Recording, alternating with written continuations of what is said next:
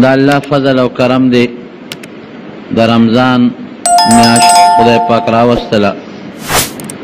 رب العالمین دې په دې میاشت کې مونږ له د روجو د نیولو او د صحیح عبادت کولو توفیق راکړي زما رونو دا میاشت په انسان باندې د الله یو فضل او کرم دی الله د انسان د بخښنې لپاره باندې لټي مختلفې موقعې جوړوي چې په هغه موقعو باندې د انسان ګناه معاف کړي او د عبادت ولا لوی مرتبه ورکړي یولس میاشتې تېرې شوې په دې یولس میاشتو کې خامخا د انسان نه ګناه شوي په عبادت کې کمی شوي عبادت په صحیح طریقه شوي نه دا یوه میاشت الله انسان له یو موقع ورکړه چې په دې میاشت کې د الله عبادت وکړي سړی الله رضا کی او څه کمی شوی کمی پکې پوره شي توبه وباسي د الله ذکر او اسکار وشي تلاوت وشي تراوی پکې وشي الله پکې رضا شي دا غ یو لسو میاشتو هغه کمه رب العالمین په دې میاشت کې پوره کړي الله کله انسان د پاره د جمعې شپه د عرفې ورځ، د عرفې شپه، د لیلة القدر شپه دا ټولې الله تعالی د انسان د بخښنې او د انسان د ثوابونو دپاره موقع پیدا کوي چې که انسان الله ته رجوع کړي نو رب العالمین په دې ورځو کې د نورو په نسبت باندې په دوچندو ثواب ورکوي د رمضان میاشت په ټولو میاشتو کې بختوره او د برکت میاشت ده نبی کریم صلی الله علیه وسلم فرمایي چې د رمضان میاشت تیر شي نو فرشته په جنتونو کې کار شروع کی کوشش کوي چې جنتونه ډولی کی نو چې د الله په حکم باندې او بیا فرشته کم کار کوي تاسو ته پته ده چې هغه به څونه د انسان د عقل نه دا بار خبرې دي یولس میاشتې د جنت په زیب او په زینت او په آرایش او په ډول باندې ولګي یولس میاشتې بوټي پکې زرغون شي خشته شي مزیدار شي نو چې کله د رمضان دا میاش راخکاره شي نو د عرش د الله د عرش د سوري د لاندې نه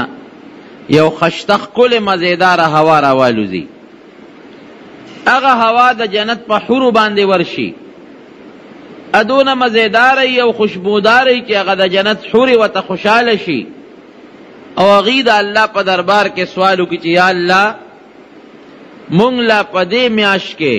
د دې میاشت د عبادت د برکت نه هغه خاوندان را نصیب کې الله چې زمونږ سترګې په هغې یخې شي او د هغې سترګې په مونږ یخې شي یعنې مونږ په هغې خوشحاله شو او هغه خاوندان په مونږ باندې خوشحاله شي نبی کریم صلی الله علیه وسلم فرمایي چې د قیامت په هغه لوی میدان کې چې په چا د اروس پنځوس زره کاله ده او په چا زیات او په چا کم او په لوی تکلیف کې به خلک مبتلا وي څوک به د کونډو پورې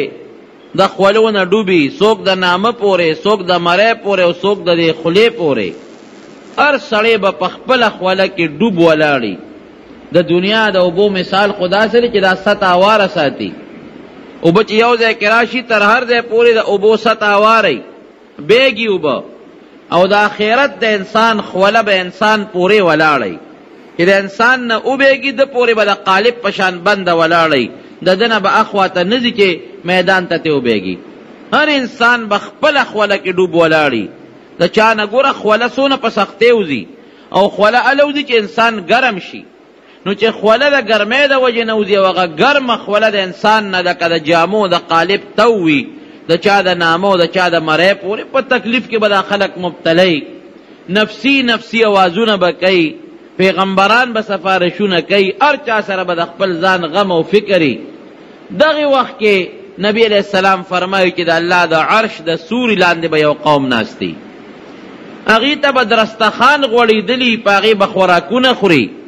شربتونه به ورته پراتي میوې به ورته پرتې وي یخې هواګانې به پرې لګي او داسې به یو بل سره ګپې شپې لګوي لکه دا مرغۍ چې مازدیګر یو بڼ ته را یوځای شي او چغار کوي داسې په خوشحالو به لګیی او خندا خوندې او ګپې شپې به لګیی لاندې به ورته خلک حیران وي چې الله موږ د ګرمۍ نه مړه شو په هغې یخ هواګانې لګي موږ په نور نیزوار دی تور اب تو ته موږ ناس یو ولاړ یو الله هغوی باندې د ستا د عرش سوری دی موږ د تندې او د لوږې مړه شو او هغوی ته د جنت میوې او د جنت خوراکونه د جنت هغه قسم قسم نه لذیذ سیزونه وته پراته دي یا الله چې دا څوک دي نبی علیہ السلام فرمایي دا به هغه خلک چې د رمضان په میاشت کې د الله د رضا پر روزي نیولې وي دومره د برکت شی دی نبی کریم صلی الله علیه وسلم فرمایي د روزدار سړي د خولې خوشبو بدبویي دا د الله پنځ د مشک او د عنبر او د خوشبویه نه بهتره ده څه مطلب سړی چې د قیامت پر ورځ د قبر نه پاسي یا په قبر کې سملی نو که د روژه په دنیا کې نلی په دې قبر کې او د قبر نه چې پاسي د محشر په دې میدان کې به د خولې نه د مشکو د خوشبویې نه خشته خوشبویې دي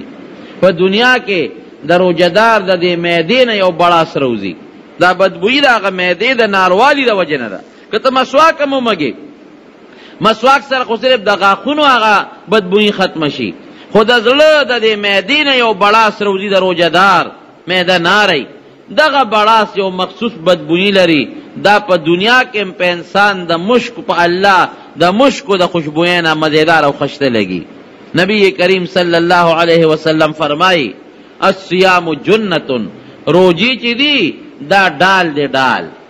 لکه ډال پخوا به یې د اوسپنې نه یو طبقې شان جوړ کړی و، کړی به پکې و، هغه به یې ځان ته نیولی و او چا به د څرمنې نه یو ګاډینۍ غوندې جوړه کړې وه د طبقي برابر او په هغې کې به یې لاس کې اچولی و، دښمن سره خو به د تورو او د نیزې او د غشو جنګ و، نو هغه ډال به یې د ځان مخې ته نیولی و چې زه بچ شم. اوس هم دې بعضې پولیس والا سره یو داسې اوږد د اوسپنې یو کښی وي، هغه د جنګ په وخت کې نیولی لاس کې څوک په کاڼي غزار کوي نو په هغې ځان بچ کوي دې ته ډال وایي نبی علیه السلام فرمایي روجې ډال دی د ګنا نه او د الله د قهر او د غضب نه سړی بچ کوي خو ما لم یخرقها تر څو چې سړی دا ډال ونشلی ډال چې وشلېږي نو بیا تا نشي بچ کولی که دا روژه دې وشلوله نو بیا تا د الله د قهر او د غضب نه نشي بچ کولې صحابه تپوس کی د الله رسول په صدر او جشلیږي وی په دروغ او په غیبت باندې سړی چې دروغ وای روجه وشلولا سړی چې غیبت کوي روجه وشلولا او نبی کریم صلی الله علیه وسلم بل حدیث کې فرمایي الکذب والغیبه یفتران الصوم دروغ او غیبت روجه ماتي صحابه تپوس کی د الله رسول روجه ختم شو وی نه داسې نه ما چې روژه بالکل ماته شوه او ختمه شوه، خو د روژې چې کوم برکت او ثواب و هغه په اوبو لو شو. د روژې یو فایده خو دا ده چې ستا په ذمه د الله یو قرض دی، غاړه به دې خلاصه شي.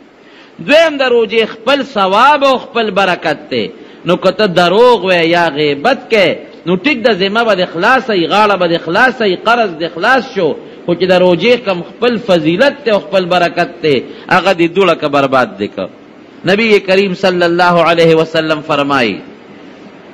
چې هر یو انسان روزه کې یو پېشمنې دی او یو روزه ماتې دی چې څوک پېشمنې کوي السحور فيه برکت نبی علیہ السلام فرمایي پېشمنی کې برکت دی وجود مضبوط شي عبادت ته به تکړه شي بعضې سړی وي ناولې پاسي ناولې پېژنې څنګه چې د کټ کې پاسي، خوله کې اوبه واچوي او چای وڅکي او بیا ویده شي، دې ته ناولې وایي. ناولې د لمونځ مرتبه د روژې نه زیاته ده، ګورې په فرضیت کې په روژه هم فرض ده او لمونځ هم فرض ده، لمونځ مرتبه پرې زیاته ده، نو لمونځ ته څملاست دی، هغه دې ونه کړ، روژه نیسې او پېشمنۍ دې هم پرېښود. دا بدقسمته انسان دی، ډېر زیات بدقسمته انسان. نبي علیه السلام صحابه ته فرمایل به، هلموا الی الغداء المبارک، اې صحابو راشئ د برکتي خوراک له راشئ پېشمنۍ به یې ورته یادو نو پېشمني خوراک سنت دی د نبي علیه السلام طریقه ده پاسېدل ورله پکار دي او بهتر طریقه دا ده زما وروڼو چې سړی پاسي او دې اودس وکړي اودس نه پس پېشمني وکړي او بیا ډېره ښکلې موقره تهجد بنده وکړي اته رکاته کم از کم دو رکعت هم کول شي څلور هم کول شي شپږ هم کول شي اته رکعت تهجد وکړه دینه زیات که څوک کوي هم کول شي ښه مزېدار تهجد وکړه دغه وخت کې د الله ذکر او اسکار وکړه او د الله په حضور کې د خپلو ګناهونو معافي وغواړه یا الله وایه زه ډېر ګناهګار یم واقعي مونږ ډېر ګناهګار یو الله مونږ ډېر ګناهګار یو الله زمونږ ګناهونه مونږ ته معاف کې دا سوال کوي او د جهنم نه امان وغواړه یا الله ما له جهنم نه امان راکې نبی علیہ السلام فرمایي وی دوه سیزونه وی پر سلام پروژه کې سلور سیزونه غواړي د الله نه سلور کارونو کې سلور دا د دواړو جهان مبارک سردار فرمایي وی دا سلورو کې دوه چې دي یو د الله ذکر وکړي ذکر باندې الله ډېر خوشاليږي او دویم د الله نه بخنه غواړي استغفار استغفر الله الذي لا اله الا هو الحي القيوم واتوب الیه د ذکر ډېر به فضیلت ته حضرت موسی علی السلام یو ځل د الله نه تاسو کو وی الله ما ته داسې شی وخایا چې په تا ته ډېر زیات در نږدې شم وی الله یادوه ذکر کوه لا اله الا الله د عبادت لایق ما سوا د الله نه بل څوک نشته ذکر کوه وی الله وی دا خو ټول خلق کوي ما ته داسې شی وښایه چې بل څوک یې نه کوي او صرف زه یې کوم وی ای موسی که دا ټوله دنیا دا ځمکه او وواړه اسمانونه دا د تلې په یو چابړي کې واچي او دا ذکر په بل چابړي کې واچي دا ما دا ذکر په درنیږي که ټول خلک یې وایي نو وایي دې که نه خو ردې نه بهتر شی بل نشته نو نبی علیه السلام فرمایي چې یو خو ذکر کوی د الله لا اله الا الله دا خامخا وایه او دویم استغفار استغفر الله الذي لا اله الا هو الحي القيوم واتوب الیه او کچاله دا وګد نه ورځي سید الاستغفار دی ته وای استغفر الله من كل ذنب واتوب الیه او کدام نه درځي صرف استغفر الله وایا استغفر الله استغفر الله استغفر الله یا الله د هر ګنا نه ستا په ذات بخنه غواړم ته مې د ګنا نه پاک کې الله حضرت حسن بصری له یو سړی راغی وی ډیر زیات ګناګار یم وی استغفار وای بل سړی راغی وی ډیر غریب یم څه دم راته وخایا وی استغفار وایا بل یو سړی راغی وی صاحب نارینه اولاد مې نشته وی استغفار ډیر زیات وایا بل یو سړی راغی وی خلک مې عزت نه کوي وی استغفار وایا بل یو سړی راغی وی صاحب قرضدار یم وی استغفار وایا یو شاګرد ورته وی بل څه دې زده دي کړه یو ټکی دې زده کړی اوس ډاکټر له خو چې بیمار راشي نو چاله یو دارو ورکي بل بیمار راشي غله بل دارو ورکي بل بیمار راشي غله بل دارو نو تعالی چې څوک راځي دا یو ټکی وته خیر استغفار وایا حسن بصری رحمت الله علیه ورته وی وی هغه شیخ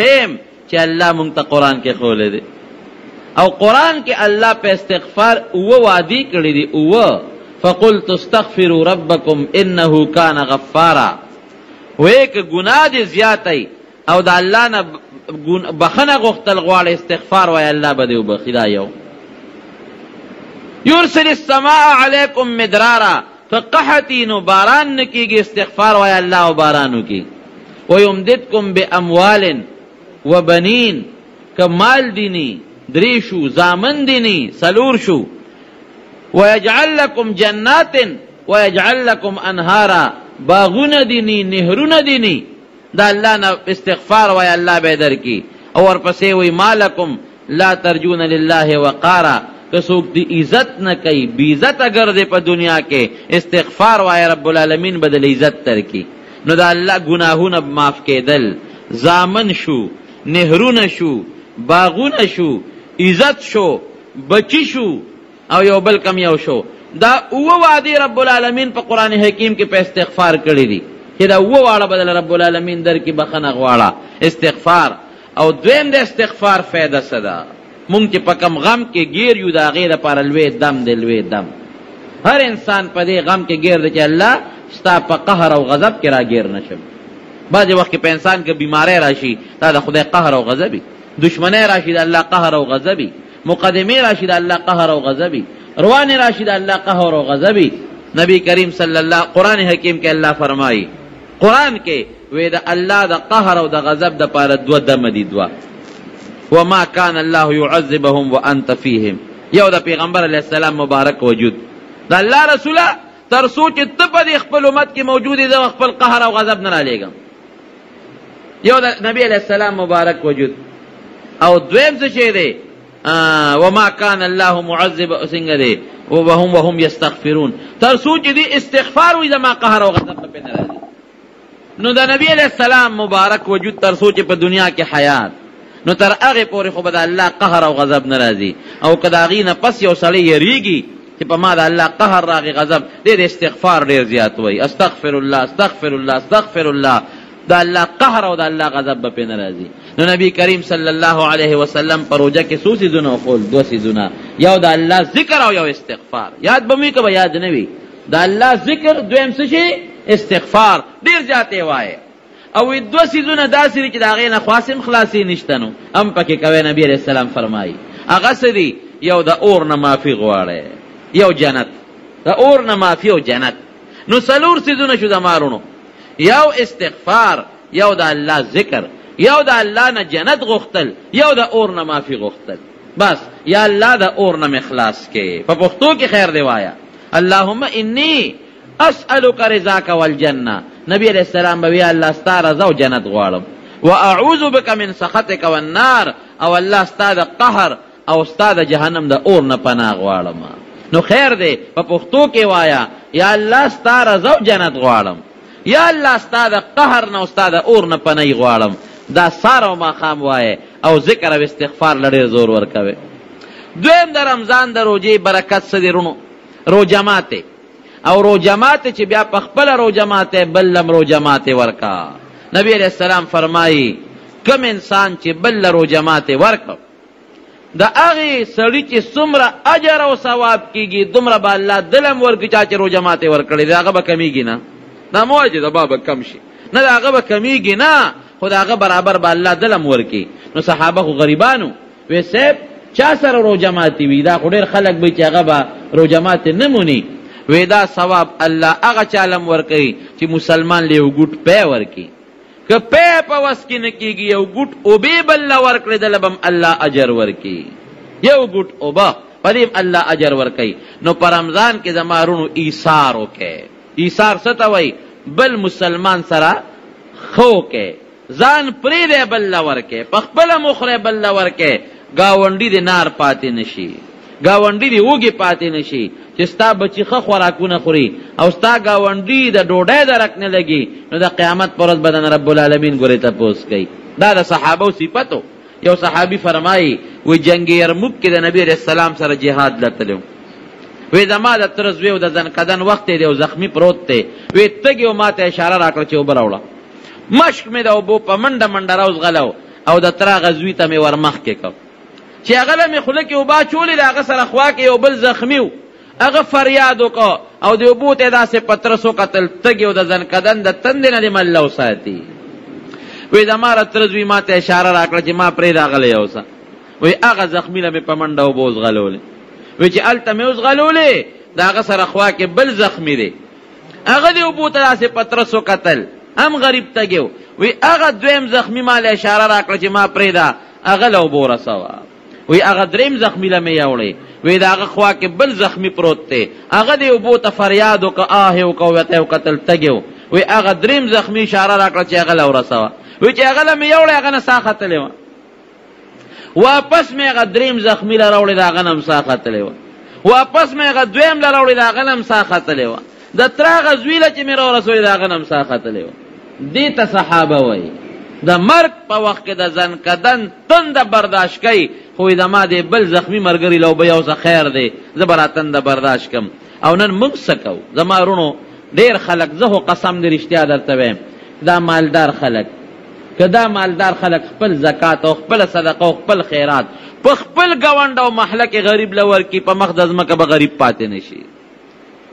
بغض او حسد به پاتې نه شي. یو بل سره خلک ولې بغض کوي؟ وایي دا مالدار دی او زه غریب یم، زما نشته او د ده شته. که یو بل سره ښېګړې شروع شوې، بغض او حسد به ختم شي، غلا غولتۍ به ختمې شي، خوشحاله او د سکون زندګي به راشي.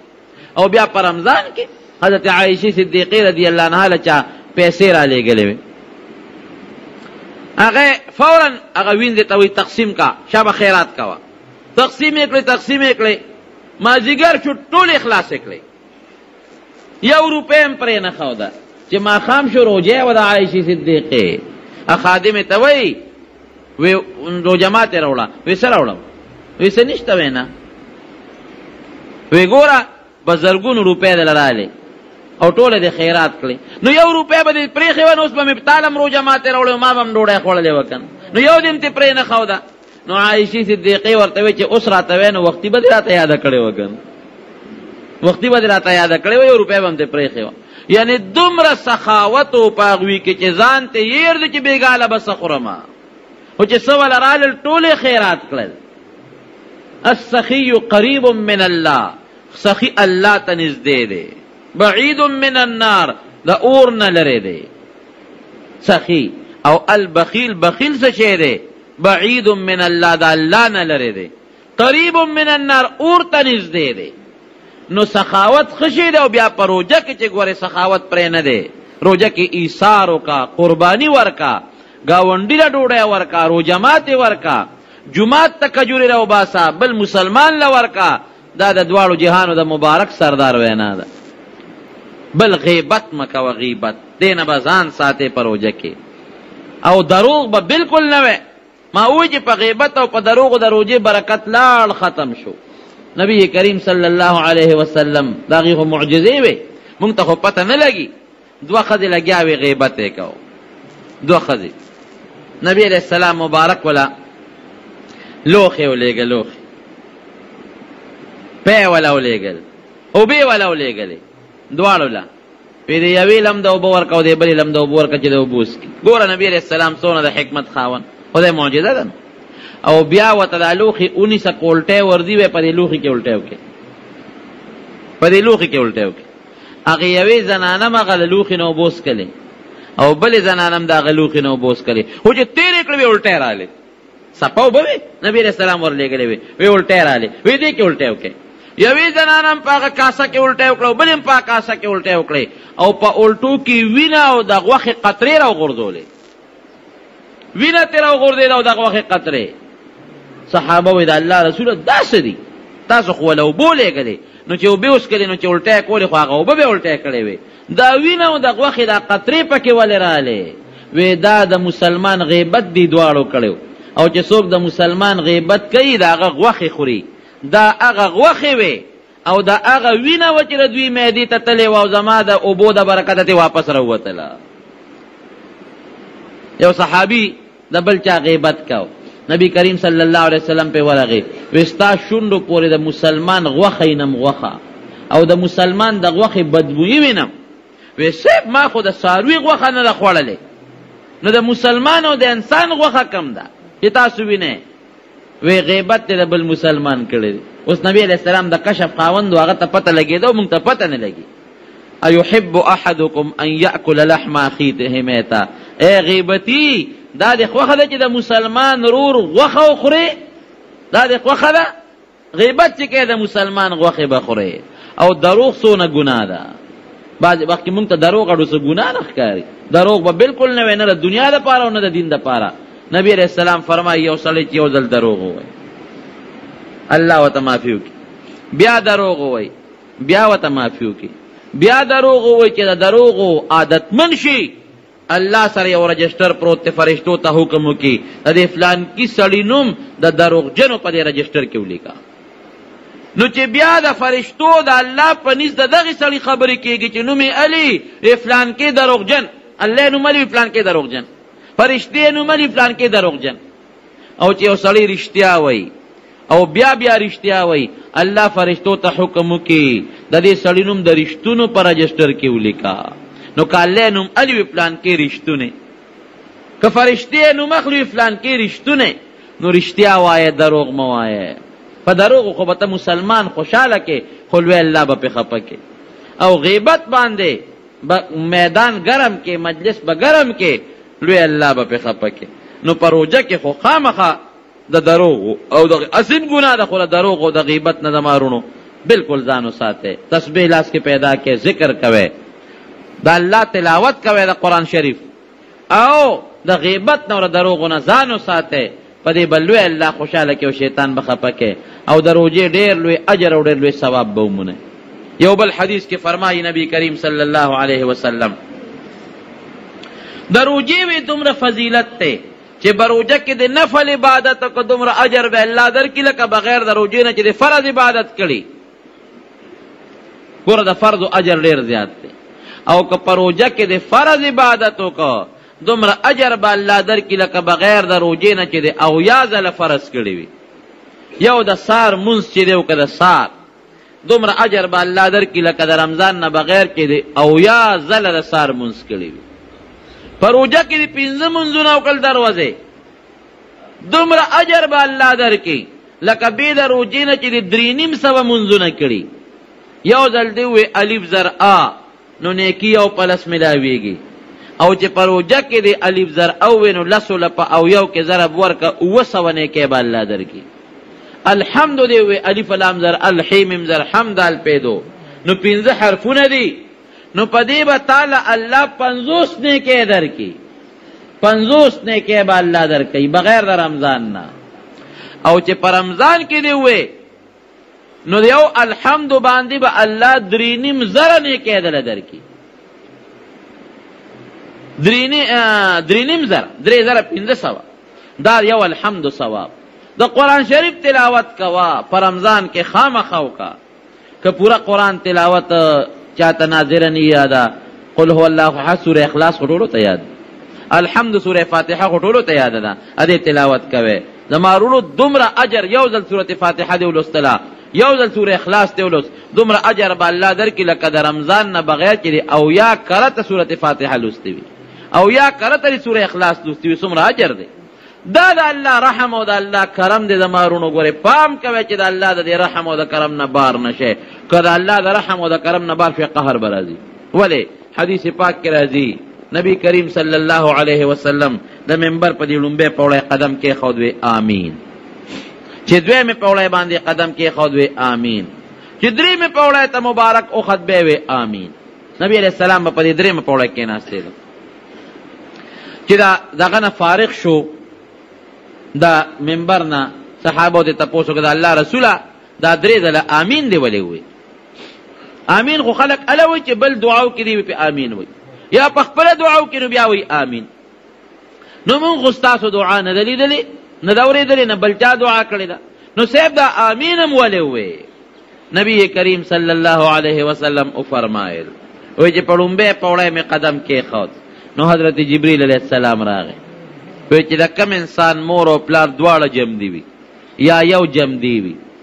دې د دې مور او پلار داسې خدمت اونکي چې ځان په جنت ته ورسوي نو الله دې تباه کړي د مور او پلار به داسې خدمت کوي چې د هغوی د خدمت د وجې ځان جنت ته ورسوي نو که داسې خدمت دې اونکه چې د مور او پلار د خدمت د وجې ځان جنت ته ورسوي نو الله دې تباه کړي نو مې چې آمین کور د مور او پلار به ډېر قدر کوي او که ته به دې بوډا دی ګړې وړې وایي دی بوډا دې کنزل کوي دی بوډا دې پلانکي زوی سره ښه کوي ما سره هغسې نه کوي نو چې بوډا وته تا په خپله وي بوډا دی کمزوری دی لاس یې رپي کار نه کوي خپې یې رپي په کونټی ګرځي سترګې کار نه کوي غوږونه یې کار نه کوي نو زړه او دماغ یې کار نه کوي کنه کمزوری شو کنه دنه به هم کار نه کوي مازغه دنه به هم کار نه کوي زړه نو کمزوری شو نو ته به ورسره ګزاره کوې که نه ته چې کمزورې وې او د ګرځېدو نه وې دې پلار د غول د دې مور د غول نه پاکول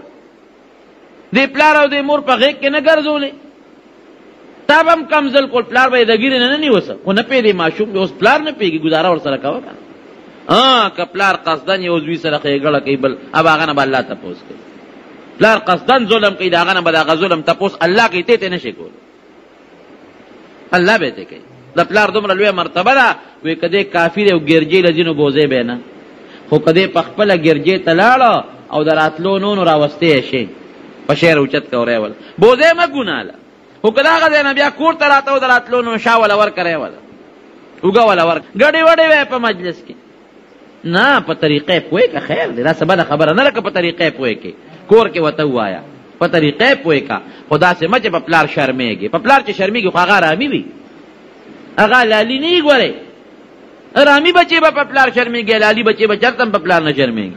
لالي بچي به د پلار خیال ساتي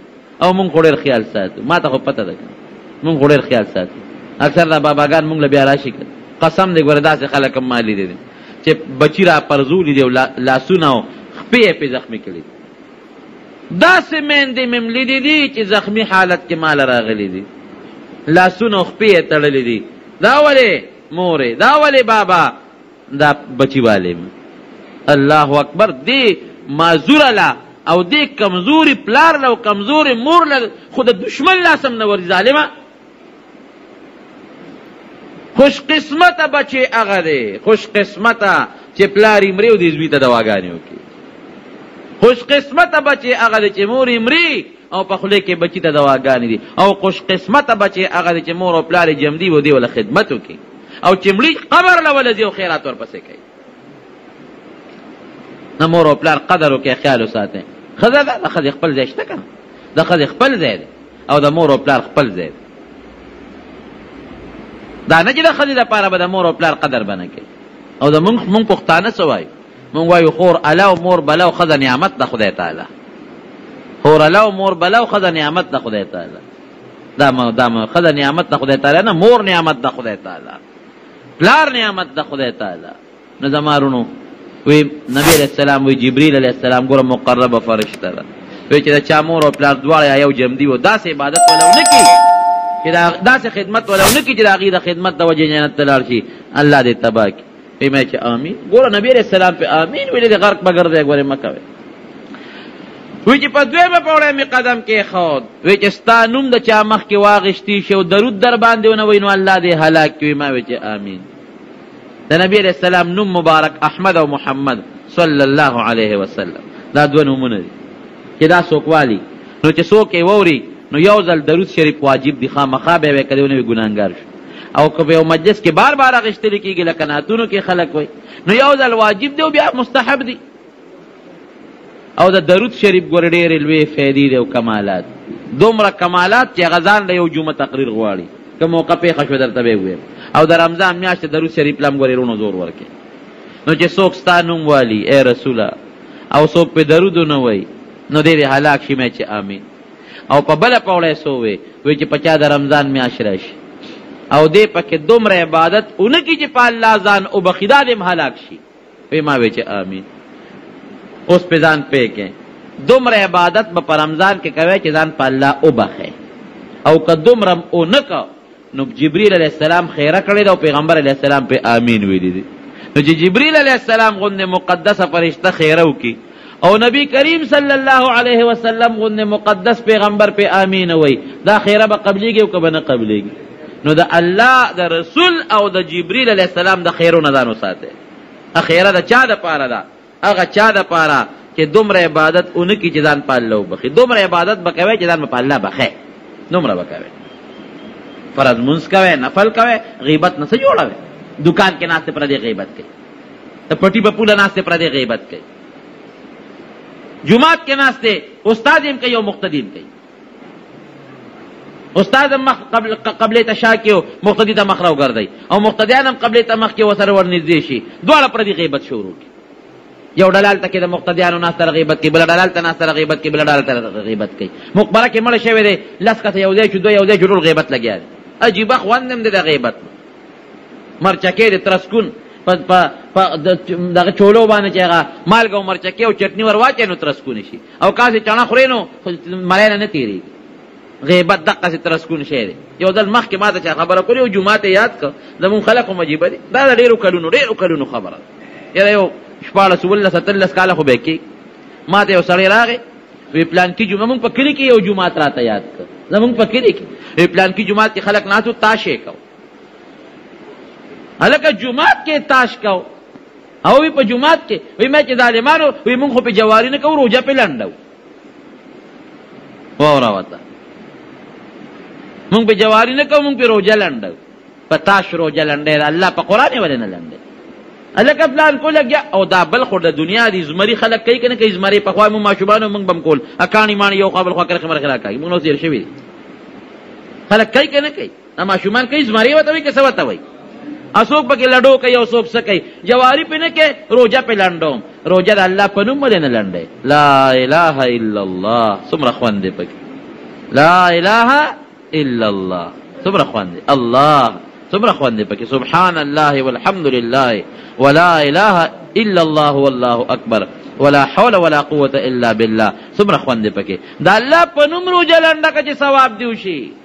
بدبخت په زمریو په تاج روجې لنډې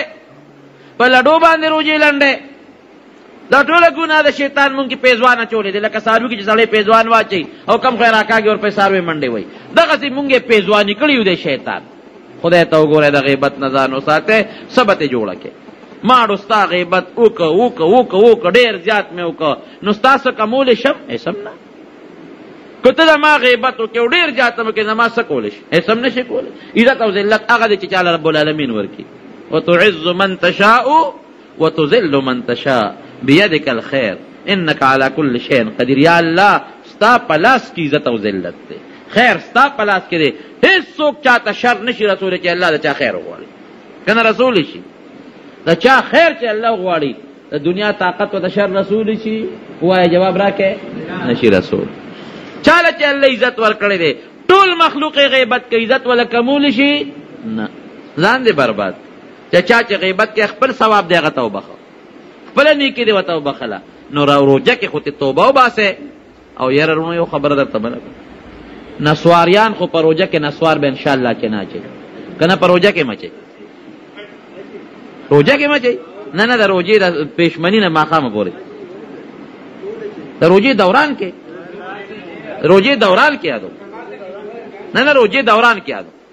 چې روژه پېشمني وکړي تر ماښامه پورې خو څوک نسوار نه اچوي که نه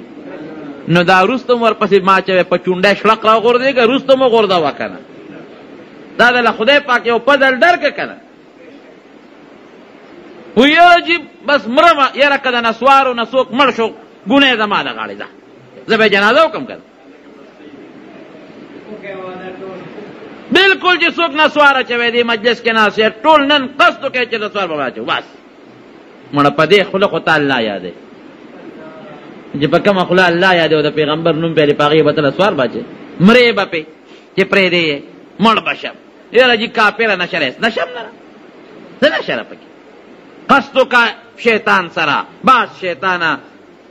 د رمضان مبارک میاشت در باندې الله راوستل او خطرناک ګناه د نسوارو نه غوري بل نشته ښه دا موج دا ګناه نه ده یو نشه ده او نشه حرامه ده یوه دویم نسوار چې خوله کې نسواري واچوي نو دا تیریږي ګوري ګنې ته بیا لاړې وتوکه او اوکه چې په هغې کې هغه شینوالی راځي او که نه راځي نو خاورې دې تیرې کړې دا خو ایره ده که نه او تماکري تیر شو دا دې بېله ګناه معدې ته هم نقصان رسوي درې مصراف دی نن سبا اوس خو به غونډار هم ګران شوي په څو روپۍ په درې شو ګوره د روپۍ نه درېو ته وخت ولې پټرول ګران شو که اوس په هغه شي تابېږي هغه بجلی ګرانه شوه درېو ته ورسېدل او کم از کم یو نسواري خو به د ورځې دوه غونډارې خو به خامخا دی خوري اچوي په دوو کېږي هم نه په درېو درې چې خوري نو نهه روپۍ روس شوه نو دا میاشتې څو شوې تقریبا دوه سوه او یا روپۍ دا دوه سوه او یا روپۍ د الله جومات کې ورکړه کنه والله چې واقعي رسول الله ټکو جومات له څوک شمه نه راوړي نهه روپۍ ورځ د نه مفتو کې لاړه دا دې بیا اسراف شو او بله غټه ګناه څه ده په خرم پې کې ولې ما له به د چین ماچین خاپیري راځي نسوار مې چولې ما زه چېرته طالب هم یو ځل نو ما له یو طالب نسوار راکړل وی ته دا ما یې لکه دا نسوار ښه شی نه دی ما ته دا واچو چې سبق په خوند پې شي وی په هوا به ګرځې په هوا به ګرځې یاره ما یو چونډی راواغېستلې شونډه کې مې تراشه که څه خوند پکې طالب ومن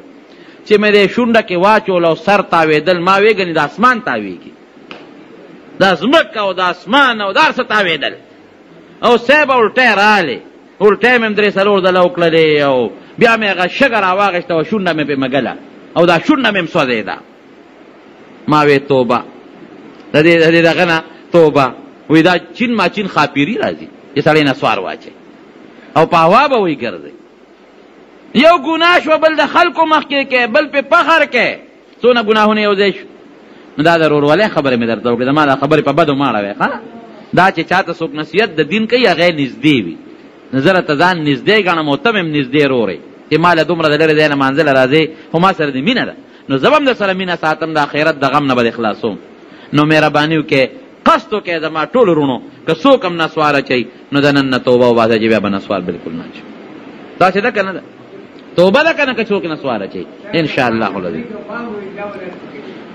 ای حجر اسود ښکلی یو پکې نسوار اچوي په مدینه منوره کې قسم په خدای قسم مې راته وخوړ مدینه منوره کې په شاري ستین را روانم یو سړي سګرټ څکه غټه غټه ښکلې ګیره ده هیر مې دي چې پټکې یو خو نه خو غالب ګومان مې لري چې پټکې هم والي او پښتونو چې سیګریټ یې کله مټه مې کله کونی مې رور یو خبره تا کوم خفه کېږم ای بلوچستان میدا مخامخ څه شی دی ګمبت مبارک او اوس را دي د نبی علیه السلام مبارک باندې بس سلام اچولي نو سیګریټ خاصم خنه دی خو د حضور پاک مبارک په دې خاوره کې د نبی علیه السلام په دې خاوره کې او بیا غم تماکو چې کم پاتې شي په ځمکه به غورځي یاره نر مسلمانو په ځمکه پې خپراخ که ماته وې څو کې مې د پلان کې علاقې ماته مولانا صاحب د نن نه پس مې سره توبه رجې سګرټ بانس کړ او قسم په الله قسم مې راته وخوړ یو سړي راله ډوډۍ کړې وه په مدینه شریفه کې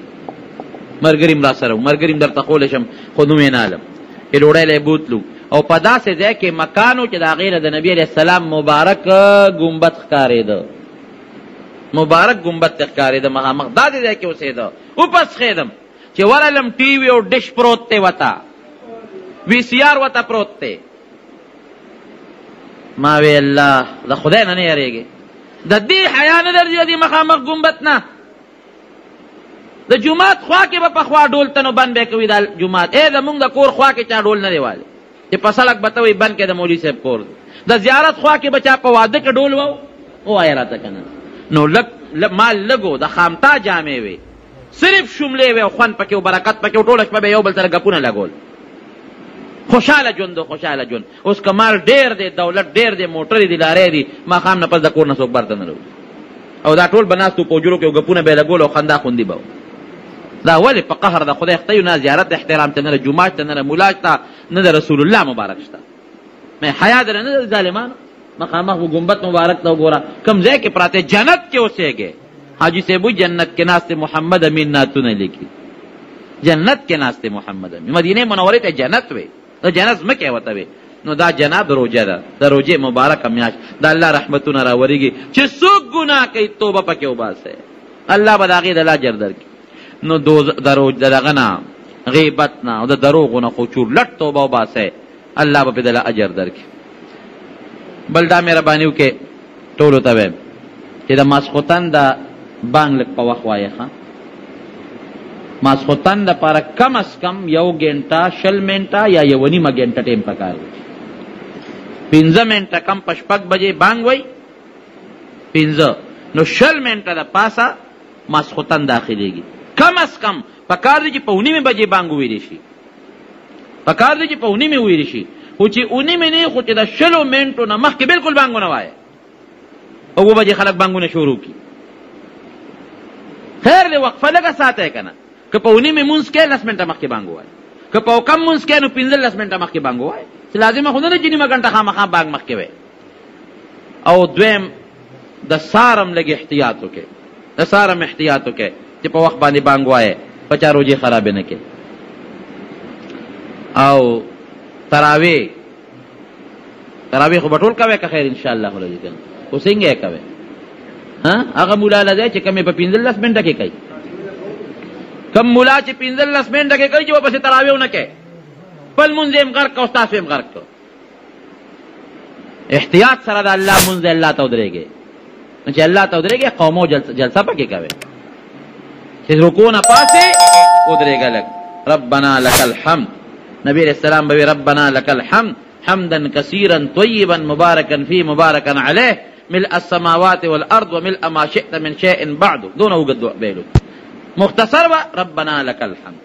دومره خو درېږه که نه بس سبحان ربي العظیم الله اکبر سمع الله لمن حمده الله اکبر دا مونځ دی خو په جلسه په دغه کې سجدې نه چې پاسې ملا نیغه کړي نه چې نیغ دی که ملا دې نیغه نه کړه مونځ دې برباد کړ په رکوع کې د دوه سجدو میانځ کې چې ملا دې نیغه مونځ دې برباد کړ یو غر سره لګیا دی قاري صاحب زور سره په منډه منډه لګیا دی او صاحبه نه پس ایاک نعبدو څوک پېښ او نه په ایاک نستعین څوک پېښ هلکه خو ګاډي ته چې تاسو روځئ او پېښور ته دی په دې سټاپ څونه تېروی نیمه ګنټه او پنځلس منټه ترې اړوی که نه اړوی د ګاډي په انتظار نو د ګاډي انتظار دپاره خو پنځلس منټه او نیمه ګنټه انتظار کوی ګاډي لا نه دی راغلی او د الله په مونځ په پنځلس منټه تنګېږې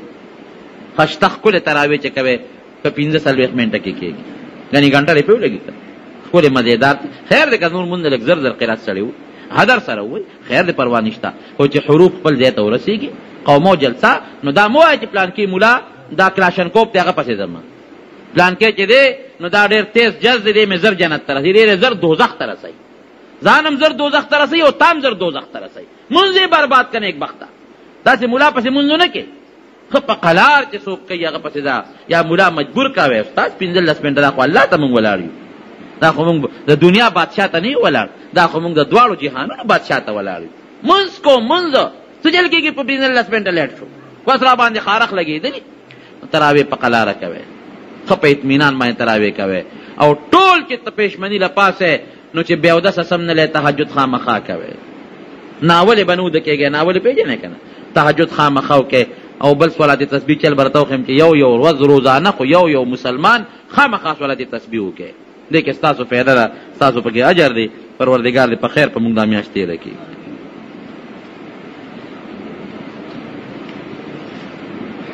اکثر خلک پروژه کې دا خبره کوي چې په غب کې د چه صد کوي او یو بلتا کنځل کوي جنګ جګړې کوي دې خبرو باندې روژه باندې اثر د روژې برکت یې برباد شو که نه د چا ست په ګپ کې څوک یاده چا ست کوي دا غلطې خبرې دي او کنځل اسم ګناه ده او په روژه کې ډېره لویه ګناه ده ګناه کبیره ده او جنګ جګړې کول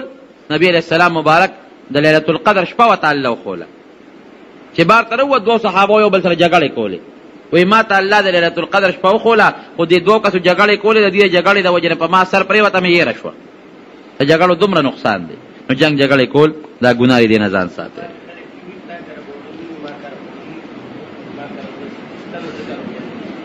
دا څونه ګناه ده وی تا کراوړه نشته او ما کراوړه دي نو ځکه دروځ نه په بل مسلمان له پیغور ورکول لري دا ډېر لوی ګناه ده بالکل حرام نه ځان ساتل دا پکار دی چې د حرامو نه مونږ ځان وساتو او حرام سره نه سړي دعا قبليږي او نه عبادت قبليږي الله دې د حرام نه وساتي او الله دې حلال رزق نصیب د بجلی اغلا دا خو ګناه ده کنه بجلی اغلا بالکل ګناه ده ټول قوم ګناه ده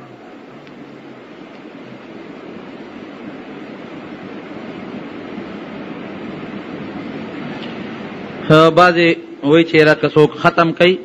هغوی له پیسې ورکوي خوراک نه د دنیا دپاره که یو سړی څوک ختم کوي د چا مقدمه وي چا کور جوړ کړ یا د چا څه بیماري وي په کور کې داسې وي او څوک طالبان یا راشي او ختم وکړي په صحیح طریقه ختم وکړي ډوډۍ پې وخوري یا هسې ورسره خیراتي سه تعاون وکړي په دې کې څه هم نشته حرج پکې نشته او که چرتې ایصال ثواب د مړي دپاره څوک ختم کوي ایصال ثواب لکه مړ یو شو او د هغه لپاره ختم کوي نو په هغې اجرت اخیستل دا ښه خبره نه ده دا بیا ښه نه ده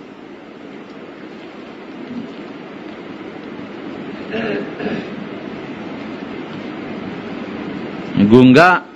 ګونګ دی وی ګونګا د خپل خزر طلاق ورکی او خزا او خاون دواړه غوي ورکی ټیک ده کنه چې خزا مې قرار کوي او خاوند مې قرار کوي جما طلاق ورکړي دي نو بیا پکې سری په اشارو باندې دا غوي خلک کويږي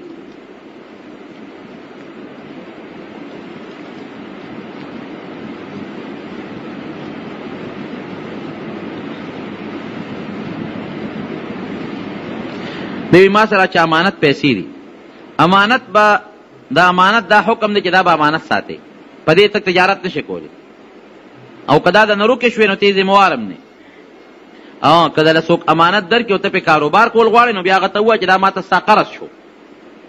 نو بیا په تدان له کاروبار کولی شي خو هغه ته به او بیا کدا برباد شوی نو بیا به داغي ذمہوارم ته یو مستانه قضا شي نو د بل بل مون نه مخ کې هغه قضا کوي ها که وخت تنګ یا جمع ولاړه وا نو خیر دی بیا د وختي منځو کې هغه نه پس دغه قضا مون بیا رسو د قیامت پر ورځ دا غلطه خبره ده چې سړی به د مور د نوم سره بللی کېږي د پلار سره به بللی کېږي فلانکی د فلانکی زوی ښه صرف عیسی علیه السلام هغه به د مور په نوم بللی کېږي باقي به هر انسان د پلار په نوم بللی کېږي دا خبره غلطه ده چې مړی ونه سپارې نو ځمکه نه خوري نه دا غلطه خبره ده دا سپارل ځان له د شریعت یو طریقه ده نبی علیه السلام نه ثابته ده سنت دی سپارې به مړی خو که دې اونم سپاره نو ځمکه هغه وجود خورې کوي داسې خبره نشته دی سفر کې روژه نیول که طاقت ته پر روژه وي او نیوې شي نیولې بهتر دی او که طاقت ته پر روژه نی کمزور کېږي یا څه نقصاني نه نیول بهتر دی بیا به قضا وکړي څوک پالج والی ګوره یاد وساته کوم سړی بیمار دی د هغه مسلمان ډاکټر نه دې تپوس وکړي چې په خپله روژه نیسي یا د مسلمان حکیم نه چې په خپله روژه نیسي نو که هغه وله مشوره ورکړه چې روژه مه نیسه نو بیا مه نیسه روژه او که هغه دله مشوره درکړه چې نه نیوې شي نیسه نو بیا نیسه خو هغه ډاکټر چې هغه په خپله روژې نیسي ګورې ښه چې مسلمان ډاکټر یې په خپله روژې نیسي دا خو نورې قصې اوږدې دي دا به چېرته بیا بل وخت کې ویم وخت ناوخته به وکړې الله په موږ دا میاشت د روژې په خیر او عافیت سره تېره کړي د روژې دا یو څو مسایل درته ووایم چې هغه دا دي چې شی سکل مکروه دي ښه شی سکل اکثر زنانه کټوی سکی سکل د کټوی مکروه دي کټوی به نه سکی لیکن علما لیکي که د یو ښځې خاوند سخت طبیعت او قاریږي وته نو که د جبې په سر باندې شي اوسه که نو بیا خیر دی خو لاړې به توکي بل دا دی که خولې کنګال کړه او اوبې تو کړې نو که په خوله کې باقي څه لونوالی پاتې وي او هغه لاړو سره تیر شي نو هم پروا نشته بل که غاښ وینې شو نو او هغه وینه تیره شوه نو که دا وینه او لاړې برابر وي یا وینه په دې لاړو زیاته وه روژه ماتیږي او که د وینې رنګ د لاړو د رنګ نه کم و روژه پرې نه ماتیږي که غیر اختیاري د چا لوګی تیر شو یې دوړه تیره شوه په دې روژه نه ماتیږي او که قصدن چا لوګی راخ که لکه د سیګرټ نو په هغې باندې روژه ماتیږي که د یو سړي مری ته غیر اختیاري مچ نه نوت د د خیال نو تیر شو په هغې روژه نه ماتیږي که د یو سړي په غاښ کې څه شی نښتی او هغه تیر شو نو که د چڼې د دانې عمره او روژه ماته شوه که د چڼې د دانې نه راکوټې او روژه نه ماتېږي او که قصدنې هغه شی بار راوویسته او بیا تېر کړه نو که لږې مې ګورې بیا پرې روژه ماتېږي او بل که سړی غسل کوي په روژه کې غسل کولی شي خو که روژه وي نو غسل به په داسې طریقه کوي چې حلق ته به اوبه نه بوځي بل پوزه کې به مو به دومره اوچتې نه راکاږي چې هغه بره تېرې شي که د یو سړي هغه بیماری وی بعضی خلکو ته سا بیماری وی او سپری کوي نو په سپری ګورې روژه ماتیږي یا پوزه کې هغه سپری راکاږي یا په مری کې راکاږي نو په هغې باندې روژه ماتیږي البته که دارو په غوږ کې اچوي یا په سترګو کې اچوي په دې روژه نه ماتېږي که یو سړی لامبي یا یخ ځای ته ننوت او د یخوالي هغه اثر وجود ته ننوت نو په دې هم روژه نه ماتېږي په انجکشن باندې روژه نه ماتېږي ښه که هغه د رج رګ انجکشن دی او که د مټ انجکشن دی یا دا ډریپ خه بعضې خلک خېجوي نو په ډریپ باندې هم روژه نه ماتېږي ډریپ باندې یا د رګ یا د مټ په انجکشن په دې باندې روژه نه ماتېږي دارنګې په مالش په سر باندې یو سړی مالش کوي په دې هم روژه نه ماتېږي بعضې وخت سړی سر غوړ کړي او د تیلو هغه خړوالی دی مری کې محسوسېږي په دې هم خیر دی روژه نه ماتېږي دې سره روژه هغې ته څه تاوان نه رسېږي او باقي که څه مسایل ستاسو وي خیر دی ما نه وروسته تپوس وکړئ پروردګاره مونږ له د صحیح روژې نیولو توفیق راکړې الله دا روژې هم قبولې منظورې کړې الله کال په کال په مونږ باندې روژې راوستلې کړې الله د رمضان روژې را باندې راوستلې کړې الله مونږ له د عبادت توفیق راکړې الله ته رانه راضي شي الله د خپل قهر او د خپل غضب نه مو ساتي الله د جهنم د اور نه مو ساتي څوک بیماران دي دعا وکړي چې الله ولا شفا ورکړي او که څوک قرضداران دي الله دې قرضونه خلاص کړي او که څوک وفات شوي دي زموږ جعفر شاه ماما وفات شوی دعا وته وکړي چې الله مغفرت نصیب کړي او دا رنګ نور زمونږ د تنګي د مدرسې محتمم صاحب او جمعه ګل جی صاحب هغه وفات شوی دی څو ورځې مخکې دعا وکړي چې الله مغفرت نصیب کړي او نور څوک مردګان وفات الله ته ټول وبخښي الله د زمونږ ایمان او زمونږ عمل او الله زمونږ د حیا حفاظت وکړي د بې حیاي او د رسوایۍ نه په امن کې وساتي اخر وخت کې مې په خولې دا کلمه نصیب کړي چې لا اله الا الله.